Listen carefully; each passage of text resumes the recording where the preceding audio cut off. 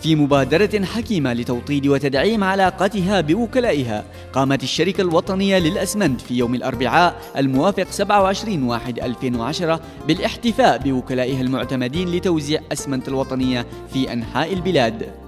أكثر من 250 وكيلا من مختلف محافظات الجمهورية اجتمعوا في قاعة الشركة الوطنية للأسمنت بمحافظة لحج وبحضور عدد من قيادات مجموعة شركات هائل سعيد أنعم وشركاه وقيادات الشركة.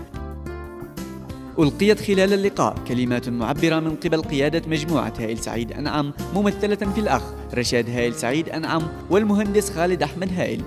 ومن قيادة الشركة ممثلة في الأخ المدير العام عبد الجليل المقرعي ونائب المدير العام الأخ محمد درهم عبد سعيد. ركزت جميعها على الهدف الأساسي من تنظيم مثل هذا اللقاء والمتمثل في تعظيم المصالح المشتركة بين الشركة ووكلائها باعتبارهم الصف الأول لمنتج إسمنت الوطنية. وخلال اللقاء تم استعراض مراحل ونقاط مراقبة الجودة لمنتج إسمنت الوطنية ابتداء من محاجر المواد الخام مرورا بالعمليات الإنتاجية وانتهاء بتعبئة المنتج النهائي من خلال استخدام أحدث التقنيات المخبرية المستخدمة في صناعة الإسمنت. كما تم تكريم الأخوة الوكلاء عموما والعشر المبرزين خصوصا سواء كان التكريم ماديا أو معنويا.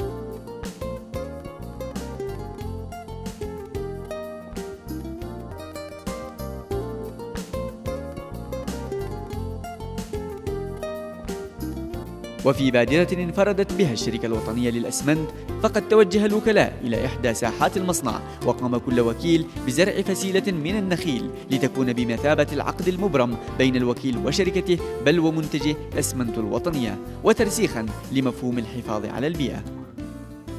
وبعد انتهاء برنامج زيارة مصنع الشركة توجه الجميع إلى محافظة عدن.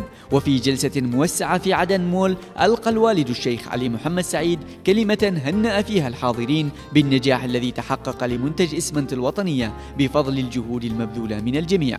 كما أكد الوالد علي محمد سعيد في ختام كلمته على القيم التي تؤمن بها المجموعة ومنتسبيها من عمال وموظفين والمتمثلة في المبادئ الخمسة الصدق الأمانة الولاء الإخلاص المثابرة. اسمنت الوطنية شريك البناء والتنمية.